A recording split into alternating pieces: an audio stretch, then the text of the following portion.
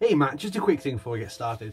These things are absolutely useless, and here's why. There exists a stereotype about British people in that every single British person happens to own at least two different umbrellas, because we are always pictured with them in the media. Usually wearing a pinstripe suit, a bowler hat, carrying some form of umbrella, possibly drinking a cup of tea, queuing for several hours for seemingly no reason, and enjoying it, probably queuing for fish and chips. I've had three separate friends come over from the US to the UK. Each one of them carried an umbrella or a brolly or a bumbershoot or whatever you want to call them. I'm sure bumbershoot is a made up word. I was convinced it's actually a proper word. Bumbershoot means umbrella. I have told you that before. So we have varying shifting patterns of weather in the UK because of the strange place we are on the globe. We basically get weather that comes over from the US, Europe and Russia and pretty much everywhere. Because to be fair, there is only one atmosphere and so things go around bumbershoot. And so we've had some unseasonably warm weather, followed immediately by much more stereotypically accurate rain.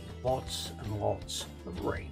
So an umbrella brolly bumbershoot thing you would think would be the ideal thing to have during rain. which It would be if you use them at all without them blowing inside out. See, that is the problem. Usually when there's rain, there's wind, and the slightest bit of wind basically makes one of these things unusable because it either blows them inside out and you just get more wet, and in fact you collect rain in this new central reservoir you've created for yourself with the upturned umbrella, or it blows it significantly enough to one side that it starts to blow away. So you either do a Mary Poppins and go into the sky, or you just get wet because the wind is blowing the rain in your face while the brolly is over this way. So my advice to you or anyone else currently watching this video, if you come to the UK, wear a garment with a hood with some form of drawstring in so you can tighten it around because otherwise it's just gonna blow off your head. So basically I challenged myself to do a video which is slightly less serious in topic. I just wanted to see if I could do something off the cuff and a bit funny based on experience I had in the last few days without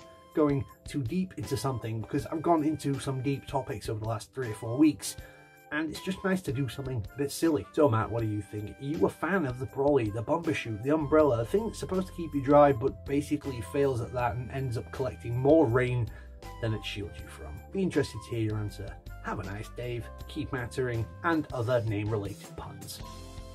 Doesn't really do this because it's apparently bad luck.